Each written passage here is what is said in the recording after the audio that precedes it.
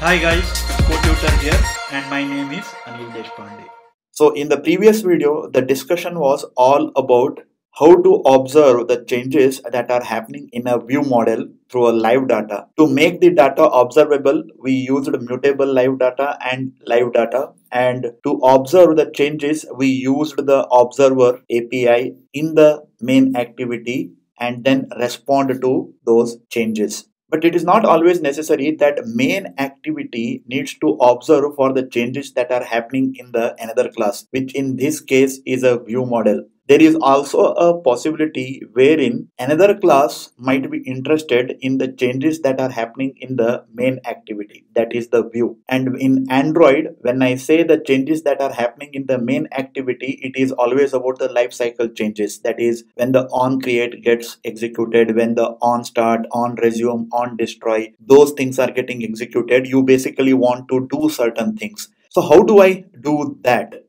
What I am basically talking about is reverse of what we did in the previous video. That is, instead of activity observing for the changes in another class, the another class is interested in the changes that are happening in the activity. Well, to demonstrate that, let me go to the view model that I have implemented and let me write a method here. So private void functionality based on some life cycle event in activity. This is just a made up method name that I am adding here and I want to execute this method when activity is resumed. So this particular method needs to get executed when on resume of the activity gets invoked. So how do we do that? Well, for that we have a concept of life cycle owner and the life cycle observer. Let's discuss what is life cycle owner. Whichever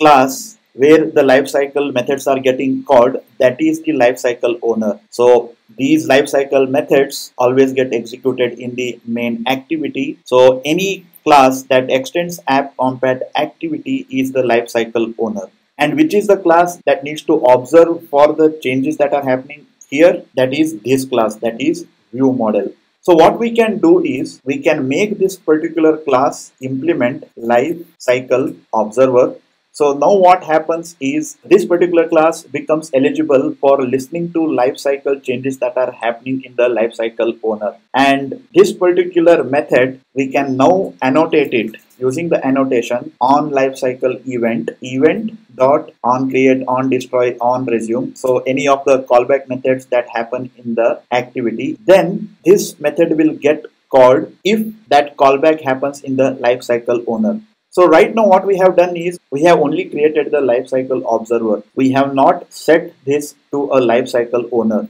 Well, to do that, we have to go back to the main activity here. And what we can do is write get lifecycle. So that gives us the lifecycle owner and then invoke a method called as add observer and then pass main activity view model. So this main activity view model, since it extends lifecycle observer, we can add that as the lifecycle observer to the lifecycle owner. And who is the lifecycle owner? Our main activity. So now let me run this and see what happens in the logcat. You can see that execute this method when activity is resumed. So this particular method is getting executed when the activity gets resumed. So let me change the orientation and once again you will see that the method got executed because activity got restarted and once again on resume get called. I can close the activity and once again restart the activity and you will observe that once again execute method when activity is resumed being logged. And another thing that you have to understand is we created the view model implements lifecycle observer. But this is not always necessary. You can actually have any class and that class implement the lifecycle observer. And once you do that if that class is added as a observer in the lifecycle owner which is a main activity or any activity that extends app compat activity then using the annotation you can basically control when a particular functionality from that particular class gets invoked with service lifecycle events that are happening in the activity or the fragment So this is a very important concept that you need to be aware when you are learning Jetpack.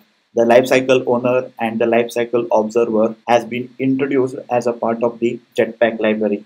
They might not be directly relevant to MVVM architecture, but it is quite common that when you are using the view model, you should be also aware what is lifecycle observer and lifecycle owner. So that's what I wanted to discuss in this video. In the next video, we will just continue ahead with the discussion of implementing MVVM architecture. That brings us to the end of this particular video. Don't forget to like, comment, share the video and subscribe to the channel. Take care. Bye.